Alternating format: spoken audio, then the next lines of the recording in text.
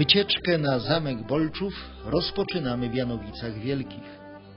Dojechać można tutaj bez problemów z każdej miejscowości Dolnego Śląska, a urokliwie i pięknie wpisana w karkonoski krajobraz wieś stanowi znakomity punkt wypadowy do wycieczek turystycznych po całej Kotlinie Jeleniogórskiej, a także po Karkonoszach i bliskich Rudawach Janowickich.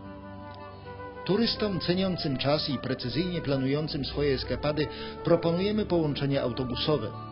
Przystanek PKS-u mieści się bowiem tuż przy wiodącym na zamek szlaku, a w kiosku znajdującym się kilkanaście metrów od przystanku działa punkt informacji turystycznej prowadzony społecznie, ale z wielkim entuzjazmem i fachowością przez małżeństwo łączące handel w niewielkim kiosku z życiową pasją, którą stanowi historia Janowic oraz uroki zakątków pobliskich Rudaw.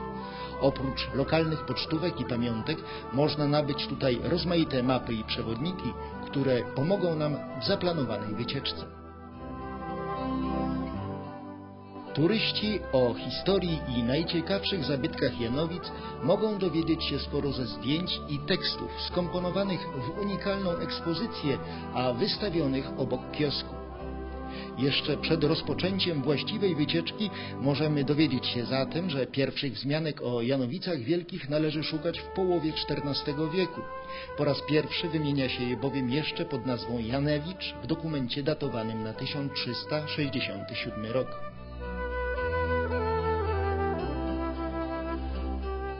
Osada nad brzegiem Bobru istniała z pewnością znacznie wcześniej, bo podróżujący po tym terenie kupcy wspominają o Janowuici już w roku 1217.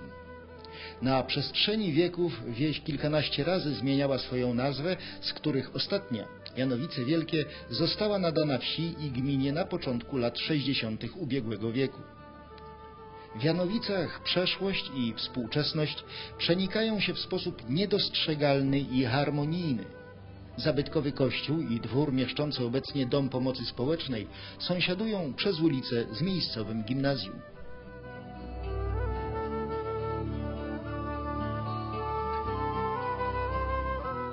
Od początku istnienia, co najmniej od XIII wieku, Janowice Wielkie związane były z rozwijającym się w okolicy górnictwem ród miedzi, ołowiu i srebra. Stanowiły przy tym raczej zaplecze niż miejscowość górniczą. Z tamtego okresu świetności, któremu kres położyła dopiero wojna trzydziestoletnia, nie pozostało już wiele śladów, chociaż wędrując po pobliskich polach i lasach można jeszcze trafić na dawne wyrobiska.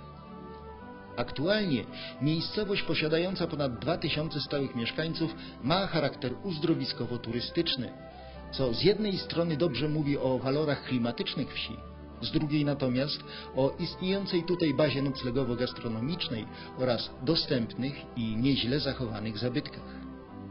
Do najważniejszych z nich należy niewątpliwie zamek Bolczów, którego ruiny wznoszą się na wysokiej, około 561 metrów nad poziomem morza, granitowej górze porośniętej mieszanym, w przeważającej mierze pięknym, starym, bukowym lasem. Zielony szlak turystyczny prowadzący prosto do zamkowych ruin znajduje się nieopodal przystanku autobusowego. Trasa wymaga od uczestników wycieczki odpowiedniego ubioru, przygotowania i kondycji. Szczególnie należy zadbać o obuwie. W niektórych miejscach droga wypłukana przez wiosenne i jesienne potoki jest wyboista i trudna do przebycia. Zielony szlak na odcinku pomiędzy Janowicami a Bolczowem jest w sporej części poprzecinany leśnymi strumykami obecnymi o każdej porze roku. Spienionej i spływającej po kamieniach wody jest tutaj wiele, a turysta w drodze do zamkowych ruin bardzo często odnosi wrażenie, że idzie samym środkiem górskiego potoku. Uciążliwość takiej wędrówki rekompensują niewątpliwie leśne widoki. Omszałe głazy leżące na poboczu ścieżki, podmyte, ale mocno trzymające się skalistej ziemi korzenie drzew, stromizny szlaku wyłożone kamiennymi płytami, spod których wybijają się kryształowo czyste wody źródełek.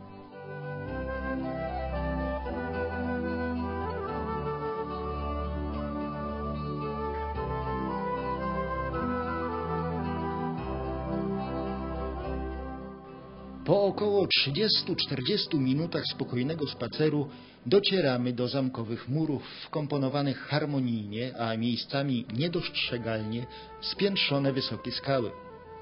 Bolczów jest bowiem doskonałym przykładem warowni, przy budowie której wykorzystano naturalne ukształtowanie terenu. Zamek na podobieństwo orlego gniazda umieszczony jest pośrodku skalistych turni, wyrastających tutaj kilkadziesiąt metrów nad ziemię. Zdarza się więc często, że kamień użyty do budowy twierdzy wnika bezpośrednio w skałę stanowiącej jedną lub kilka ścian dawnych pomieszczeń.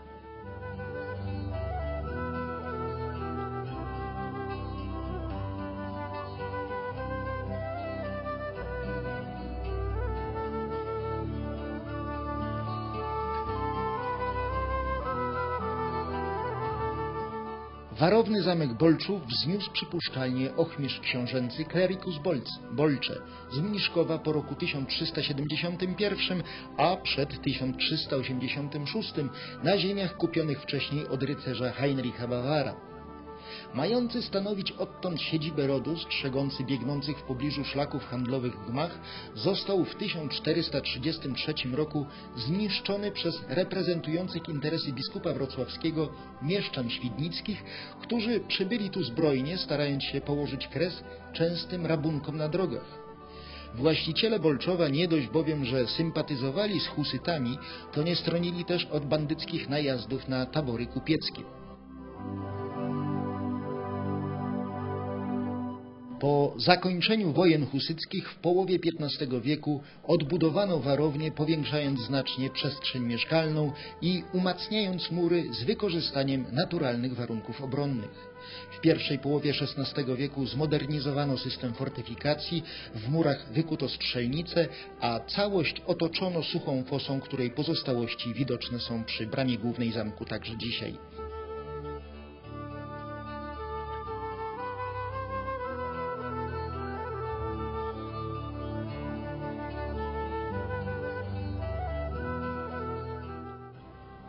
Tym okresie zamek często zmienia właścicieli, którzy dokonują kolejnych zmian w zabudowie warowni.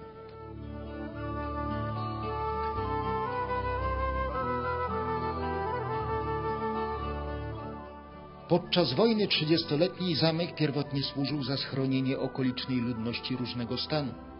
Wkrótce jednak został wzmocniony i obsadzony załogą cesarską, by poddać się pod naporem sił szwedzkich w roku 1641. Cztery lata później, przypuszczalnie na skutek zdrady jednego z obrońców, 5 grudnia 1645 roku został ponownie zdobyty i spalony przez Szwedów. Spłonęła wówczas drewniana konstrukcja wraz z poszyciem i więźbą dachową. Od tamtego czasu Bolczów nie powrócił już do swojej dawnej świetności. Będący w stanie mocno zaawansowanej, lecz wciąż pięknej ruiny, stał się atrakcją turystyczną okolicy. Między innymi w 1824 roku zwiedzał go król pruski Fryderyk Wilhelm III wraz z małżonką hrabiną Augustą von Harach i cesarzową rosyjską Aleksandrą. A kilka lat później bawił tu książę, przyszły cesarz Niemiec Wilhelm I.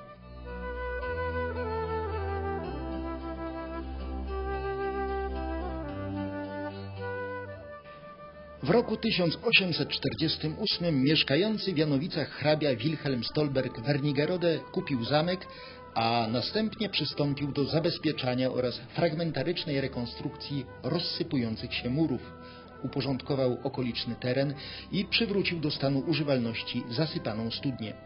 Zbudował też gospodę dla obsługi rozwijającego się ruchu turystycznego. Gospoda i schronisko istniały tutaj do II wojny światowej w latach 60. XX wieku relikty warowni starannie zrekonstruowano i zabezpieczono w formie trwałej ruiny.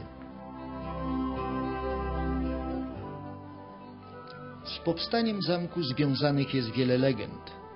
Jedna z nich, sięgająca zamieszłych czasów tworzenia się na tych terenach pierwszych osad górniczych, opowiada o srebrnym kuszniku. Dawno temu w pobliżu dzisiejszych Janowic odkryto niezwykle bogate złoża miedzi. Zaczęli więc przybywać w te strony gwarkowie, którzy z czasem założyli osadę. Już w XIV stuleciu tętniła ona górniczym życiem, przynosząc jej mieszkańcom spore dochody i poczucie życiowego spełnienia.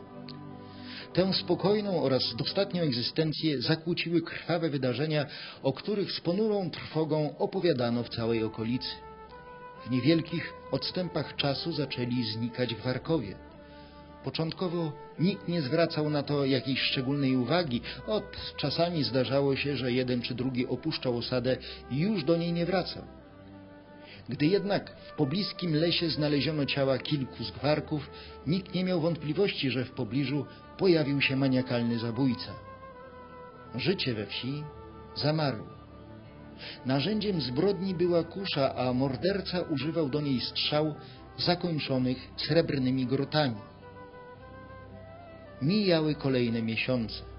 Sprawa przecichła, a życie w osadzie wróciło do normy. I pewnie wszystko poszłoby w zapomnienie, gdyby nie pewien przypadek. Otóż książę Bolko urządził na Zamku Świdnickim turniej rycerski. Przyjechało nań wielu znakomitych gości, w tym jeden nikomu nieznany kusznik.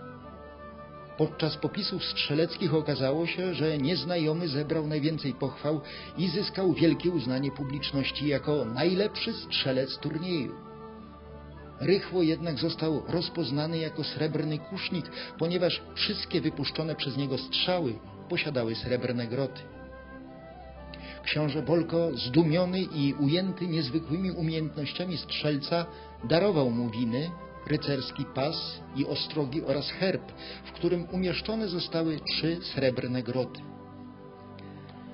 W zamian za książęcą łaskę kusznik rycerz wybudował na szczycie skalistej góry warowny zamek i do końca swoich dni chronił okolicznych górników, zapewniając także bezpieczeństwo i opiekę kupcom korzystającym z handlowych szlaków.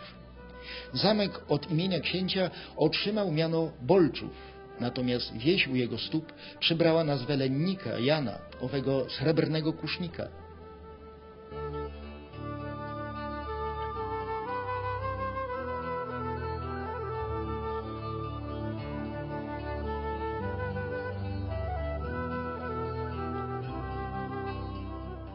Wytrwali piechurzy, którzy dotrą i zwiedzą ruiny zamku Bolczów, nagrodzeni zostaną sowicie widokami, które podziwiać można z murów warowni. Otwiera się stąd rozległa panorama całej kotliny jeleniogórskiej i zamykających ją karkonoszy. Nieopodal zobaczyć można także malowniczo ukształtowane, mocno zalesione wzniesienia Rudaw Janowickich, z których wyłaniają się dwie skaliste turnie Sokolika, szczególnie ulubione przez trenujących wspinaczkę skałkową. Nieco dalej, w soczystej zieleni gęstwy lasu, ukazują się malownicze skupiska olbrzymich kamieni. To starościńskie skały, do których dojść możemy podążając z zamkowego wzgórza przez las najpierw czarnym, a następnie niebieskim szlakiem turystycznym. Starościńskie skały to malownicze gniazdo skalne położone na wschodnim stoku Lwiej Góry, oddalone o około 7 km od Janowic Wielkich, a więc w odległości, która nie powinna przerażać nawet niezbyt wprawnego piechura. Powstało tutaj małe skalne miasteczko. Wąwozy, szczeliny, bramy i wieżyce o fantastycznych formach. Można tu też zobaczyć kociołki wietrzeniowe, zagłębienia w kształcie mis o średnicy i głębokości do kilkudziesięciu centymetrów, często wypełnione wodą. Najwyższa skałka, położona na wysokości 719 metrów nad poziomem morza, jest dobrym punktem widokowym, na który wiodą wykute w skale opatrzone poręczą stopnie. Roztacza się stąd rozległy widok na Dolinę Janówki oraz Góry Sokole. W oddali widoczne także ruiny zamku Bolczów, sprawiające stąd raczej wrażenie naturalnej grupy skał niż budowli wzniesionej rękami człowieka. Pozostańmy jeszcze przez moment spacerując po starościńskich skałach, zwanych niegdyś skałami Marianny. Poukładane w niespotykane formy kamienie, niby fantastyczne klocki, rodzą przekonanie, że Stwórca w czasie tworzenia świata miewał również chwilę zabawy.